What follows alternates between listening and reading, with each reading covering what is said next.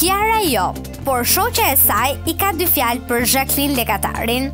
Një story i Jacqueline-s ditën e djeshme ku shpreh se shumica e fëmijëve në vendin tonë lindin për interes, frikë, nevojë dhe jo dashuri, u mor si një kunj direkt për Kiarën dhe Luizin.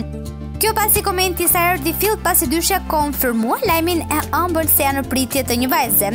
Deri tani as Kiara dhe as Luizi nuk kanë reaguar në lidhje me këtë shkrim të Zhakut, por shoqja e moderatores Liesa nuk i ka kursyer dy fjalë opinionistes. Ekziston një vend në ferr për ata që komentojnë negativisht për një grua shtatzënë. Ti ta shpif, gjumë të ëmbël, shkruan Liesa në Instagramin e saj.